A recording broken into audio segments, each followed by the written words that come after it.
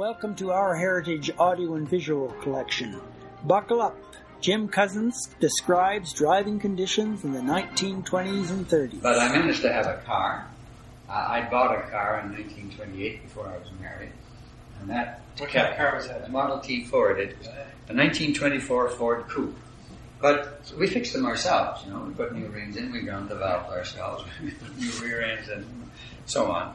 Put new bands in, we did it all ourselves, so there was not, not very And we didn't run them in the winter, unless there was something we had to do. We usually put them up on blocks and uh, let them stay. Or if we wanted to run them in the winter, was to drain the water out. There was no antifreeze then, only alcohol antifreeze. It wasn't very good. So we would jack up the hind wheel, put the car in gear, and then we would fill the radiator with hot water. We'd pour hot water over the manifold. We'd pull the choke and we'd crank.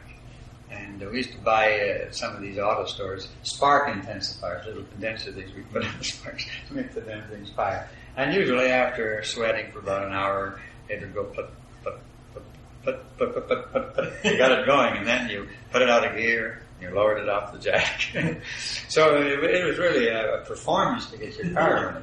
Of course, there were some richer people who had Chevrolets and Buicks, you know, but uh, most of us had Model Ts. And then I, after that, I some fellow sold me a, a twenty, I think, twenty-six Ford with a Ruckstell axle. It had gears on it. you put the leg in an extra load, so that you could go up a hill without having to turn around and go backwards. yeah. Which Did you ever have to do that? I had to do that in, in Yellowstone Park. I didn't have enough gasoline, so I had to turn around and back up the hill. Oh, I see. Because the, the you know the gas is low. And when you're on a hill like this, it runs out and when go into carburetor. So you turn around, it runs down into the carburetor and back up. Boy, and spark coils that always got wet. Always fiddling around with those, putting new pumps in. But that was uh, part of the fun. But then you see the roads were dirt roads. And uh, you could travel from, uh, say, I, I traveled south of Vegreville across to Calgary one time. Well, you'd run into thunderstorms, and you'd have 10 miles of road that would just grind. You'd have to grind through. You even see your way. Then you'd have some dry road, then you'd have wet again.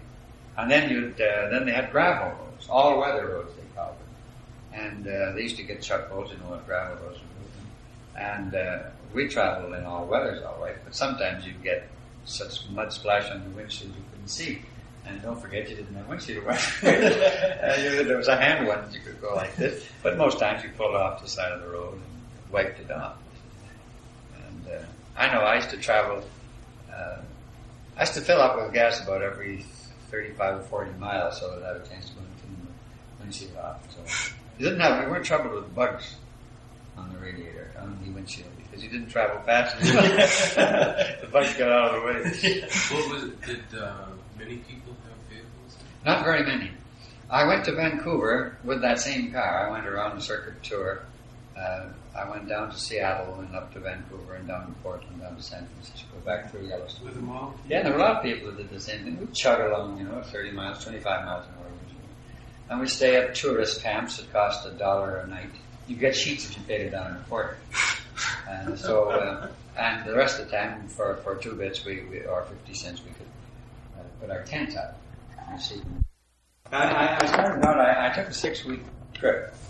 Uh, I remember the, the first day we got down as far as Bonner's Ferry from here. That was 225 miles. That was about the longest day's trip that we took. And uh, when we were in a hurry, we would make up 200 miles a day. The, uh, and we'd stop at the little towns. We'd stop at the, they all had tourist camps in those days.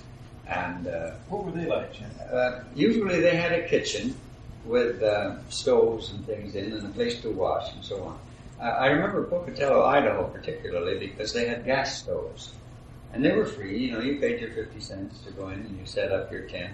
You could take a shower bath. And, and I remember how hot it was in Pocatello. It was a, s- uh, a day something like this, you know, and it was, it was getting rather deserty. I remember I went, uh, uh, we came back up to Portland and went on the Oregon Trail. I've still a historian, you know, and I went over the Oregon Trail and we went back and uh, we went through Boise. And when I got through, there's a, I think there's a place called Nampa there in Idaho.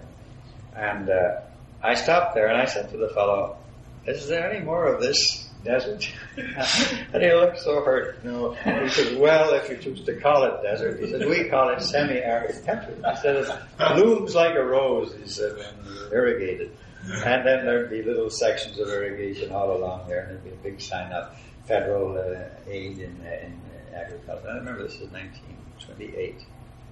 29. I'll, I'll, I'll get my date right. It's 29, just before the Depression. And it was the last trip I took. And we got into Yellowstone Park, and we had to pay. There were cabins there. Uh, we paid a dollar a night. You know, I went back on a tour for the Chamber of Commerce in 1956. It's a good long time later. Those cabins were still there. They hadn't been changed. There was nothing in them, just a cabin with a bed and a mattress. And you put your uh, your blankets on it, and you slept. They were seven dollars. Seven dollars. I think I just what made them worth seven dollars instead of one dollar. I don't know.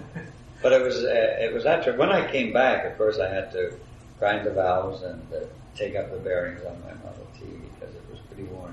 The bands wore out a couple of times, but I had quick change bands, so you could unfasten them. See, the old ones you had to take the uh, housing off and take the, the bands out. Well, the quick change ones had a bolt, on the top, so you unfasten the bolt and you slid them around and then you put the new one underneath and fasten it in again. Unless you drop the bolt, as I did once. And I started up the car and the boat shot up in the air. And I caught it, so I, I didn't have to take the car apart. But touring was real fun in those days. I can remember a couple of uh, boys from Pennsylvania. They had a, a roadster uh, car. And it was awfully hot going across the plains there from Boise to Pocatello and back that way. And they were driving with their feet hanging out of the window.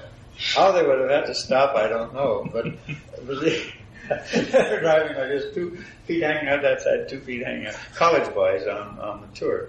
And we'd meet and we'd make friends and we'd agree that we'd meet at a certain time the next night. We'd meet the same gang traveling, touring around. And that was, uh, oh, it's, it's changed so much now, you know, with, your, with the motels and the fact that you go six or eight hundred miles a day without hesitation and the roads are paved. They were all gravel in those days. You get a few paved roads. Uh, the only crowding I ran into, I was going into Seattle on the 4th of July.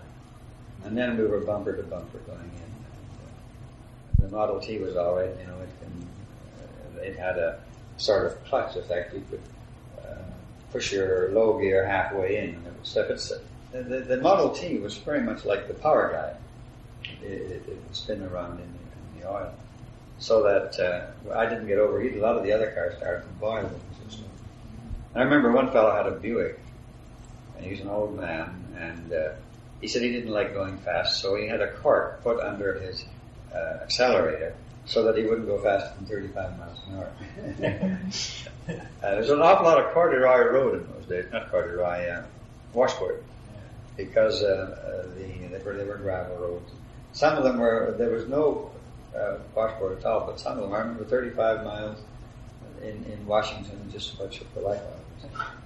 But uh, on the coast they had a paved road right down, very narrow on two lane road. But uh, when you went down towards San Francisco, that was real going. Downhill you could go 35 miles an hour. Uphill, of course, you went five miles an hour. But usually you, you average about 20. You got 30 miles to the gallon.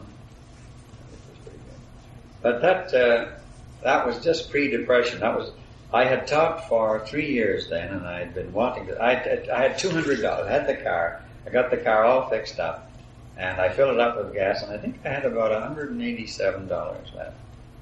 And I made this trip. I don't know about four thousand miles, and uh, came back with the old Model. Of course, we took a chance, but then Columbus was that kind of person too.